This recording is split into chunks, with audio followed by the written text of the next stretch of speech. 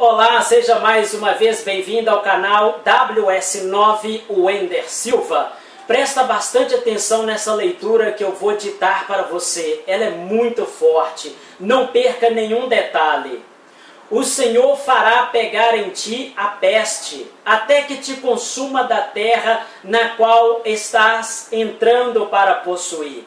O Senhor te ferirá com a tísica e com a febre, e com a inflamação, com o calor forte, com a seca, com crestamento e com ferrugem, que te perseguirão até que pereças.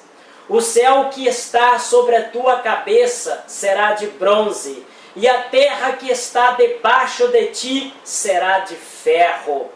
O Senhor dará por chuva a tua terra pó, do céu descerá sobre ti a poeira, até que sejas destruído.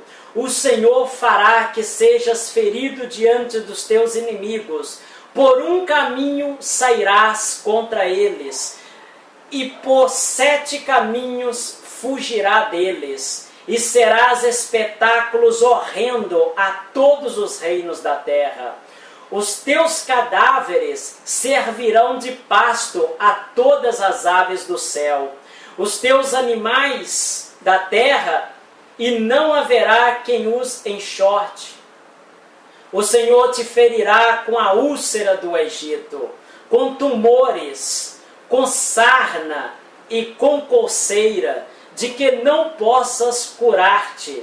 O Senhor te ferirá com loucura, com cegueira e com pasmo de coração.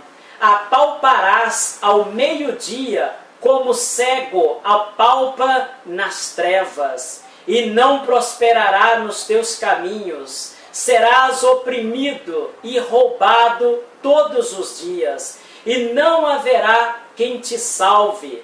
Desposar-te-á com uma mulher, porém outro homem dormirá com ela Edificarás uma casa, porém não morará nela. Plantarás uma vinha, porém não desfrutará. Este é o castigo que vem sobre as pessoas que não adorem a Deus. É o castigo que vem sobre as pessoas que não praticam a palavra de Deus. E você pode observar isso nos teus vizinhos. Você pode observar isso dentro da sua família. Há pessoas que sofrem, sofrem, sofrem e às vezes você tem até pena dela. Há pessoas na sua família que sofrem tanto que você tenta ajudar de todas as formas e essa pessoa continua no sofrimento ela sofre, meu amigo e minha amiga, é porque ela não dá crédito à palavra de Deus. Ela não pratica a palavra de Deus. E quem não pratica a palavra de Deus, vem essas pragas sobre ela, porque ela está desprotegida de Deus.